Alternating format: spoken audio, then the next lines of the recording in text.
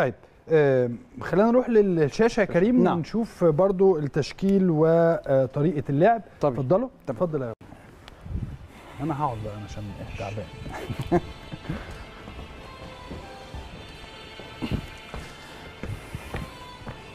طيب إحنا معانا التشكيل ونبدأ طبعا بحراسة المرمى وحراسة المرمى برضه واحدة من الأمور الغريبة جدا جدا جدا في كايزر تشيفز خلال آه، بطولة دوري أبطال أفريقيا السنة دي. اللي هي كابتن أيوة. اسلام الثلاث حراس لعبوا. الثلاث حراس بتوع الفرقة لعبوا في البطولة. لكن الحارس الأساسي والرئيسي هو دانيال أكيبي وهو عنده 33 سنة. وهو طبعا الراجل يعني المفروض هو الخبرة وكل شيء ويعني معظم مباريات ال- الدوري هو اللي بيلعبها. بس أنا بشوف إن أكيد برضه عنده بعض المشاكل عنده بعض الأخطاء اللي بيقع فيها في المباريات حتى في ماتش الوداد أعتقد اللي كان في جنوب أفريقيا هو اتطرد في الدقيقة 43 كان ماتش عصيب جدا عليهم. هم كان لازم يكسبوا بعد ما فقدوا خمس نقاط في أول جولتين. ولكن آه، في وجهة نظري الشخصية ربما هيكون هو الحارس الأساسي. لأن بافوما الحارس البديل 25 سنة وربما ما يبقاش عنده القدرة الشخصية والمعنوية إنه يلعب ماتش final زي ده فأشوف إن اكيبي هو اللي ممكن يبقى الحارس طيب نروح خط الدفاع وفي وجهة نظري برضو هو الاحتمال كبير هيلعب بخمسة أكتر ما يلعب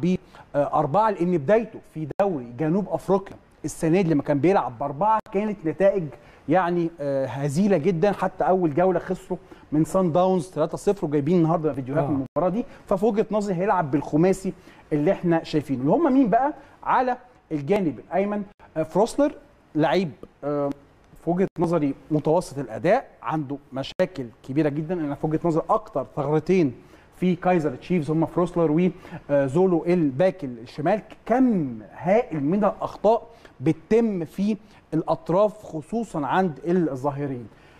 لكن في قلب الملعب بقى بنتكلم على دفاع صلد قوي طويل. بنتكلم على دانيال كاردوزو وبنتكلم على إريك ماتوني ونيجانزا الثلاثه وماتوني نفسه 198 سم مهمة بنتكلم جدا على برج.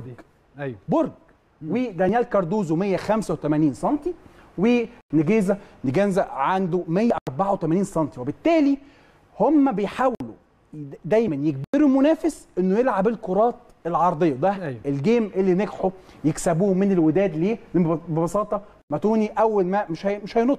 هو مش محتاج ينط. الراجل يقترب من المترين وهو واقف هيطلع كورة. عمل جامب فاحنا بنتكلم على لاعب ممكن يقترب يا أحمد من ال 2 2 متر متر، صح. و20 سم يمكن هم يعني زي ما كريم قال كده هم بيخلوك إن أنت تهاجمهم. نفس طريقة لعب هيكتور كوبر إن أنا تعالى اعمل العرضيات عادي ما أنا عندي مدافعين كلهم حاجة 100 حاجة و90 طوال. ما- مهما عملت عرضيات هم عندهم الميزة دي. لكن على الأرض لو اديتهم لو الف... بس خلي بالك معنى كلمة عرضية دي مش مش لازم. تبقى عالية.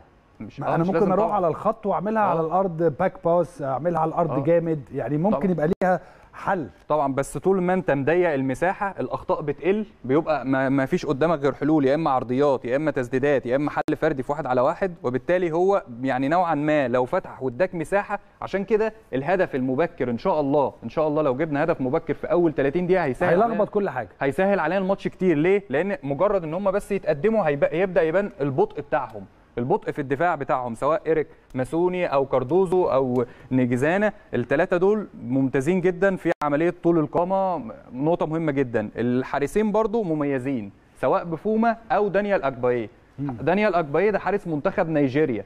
وبفوما الحارس برضو حارس مميز جدا ويعتبر هو من الحراس الأساسيين عنده. وبالتالي عنده حارس مميز وعنده دفاع. طويل القامة فبالتالي يعني ده يخليك إن أنت تبدأ تهاجم وتعمل يعمل دفاع منطقة وأنت تحاول تخترقه.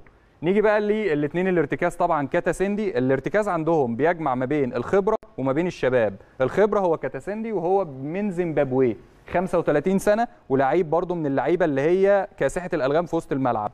بلوم رقم 12 ده لعيب شباب عنده 21 سنة وبيلعب في منتخب جنوب أفريقيا أيوه. الأولمبي. تاني أكتر لاعب عامل interception ومميز جدا مهاري تاني أعلى معدل مراوغات ناجحة بعد باركر نيجي للثلاثه اللي قدام ودول بقى اللي هو محور كلامنا النهارده تحديدا دول بيطبقوا الهجمة المرتدة إزاي هنتكلم عنهم ونشرح بالتفصيل. طبعا باركر رقم 25 عنصر الخبرة وقائد الفريق ده 35 سنة لعيب دولي في منتخب جنوب أفريقيا من زمان. آه. وكاسترو كاسترو اللي هو اللعيب الكولومبي اللي هو رقم 8 لعيب برضو يعني مميز جدا بيخش دايما للعمق وعنده حتة بيكمل لجوه. أما نيجي للمهاجم الخطير الصربي وأهم لاعب في الفريق ده سمير نوركوفيتش. يمكن هدافين الفرقة سمير نوركوفيتش اللي هو المهاجم الصربي اللي هو ماسونو اللي هو المدافع رقم ثلاثة يعني تخيل لما المدافع يبقى تاني هداف الفرقة ده دليل إن في pattern هنتكلم عنه في الضربات الركنية بينفذوه بصورة كويسة جدا طيب خلينا نروح لأهم نقاط القوة اللي موجودة في آه، هذا الفريق اتفضل يا أحمد خليك أنت معانا تمام في الأول نكمل بس صورة. التشكيل الثاني يعني ده التشكيل التاني. الأول اللي هو طيب هل أنت. بس متوقعين أنتوا الاثنين إن هم هيلعبوا آه. خمسة؟ آه على وجهة نظري يلعب خمسة. طبعا مش. هيغير طريقة اللعب. هو هي 5 4 1 في الحالة الدفاعية بتتحول ل 3 4 3 في الحالة الهجومية. okay. عن طريق إن الاثنين الظاهرين بيتقدموا. هات ال- تقدموا رباعي آه التشكيلة الملعب. لو جبنا التشكيلة الثانية هات بس هات التشكيلة التشكيله التشكيلة لو الثانية. إيه الخلافات؟ إيه إيه اللي هو الخيارات اللي هي برضو عند مدرب كايزر تشيفز اللي هي ممكن يغيرها؟ نفس التشكيلة بالظبط بس حراسة المرمى ممكن يبدأ بدانيال اجبايه اللي هو حارس منتخب نيجيريا اللي هو تألق في المباراة الأخيرة. أو نجوجبو. نحط عليه دايرة وده لعيب مهم جدا رقم 15 مفتاح بناء الهجمة المرتدة عندهم. لعيب حريف قوي. رقم 15 دوت اللي هو بالقدم اليسرى وهنتفرج عليه لعيب مهم جدا. باركر وسمير نوركوفيتش. والباك الشمال الثاني الموجود ساسمان اللي هو رقم 20 اذا الخلافات الموجودة عنده. الحارس المرمى ال back left ونجوجبو اللي هو اللعيب الجناح. دول الثلاثه اللي ممكن يغير فيهم.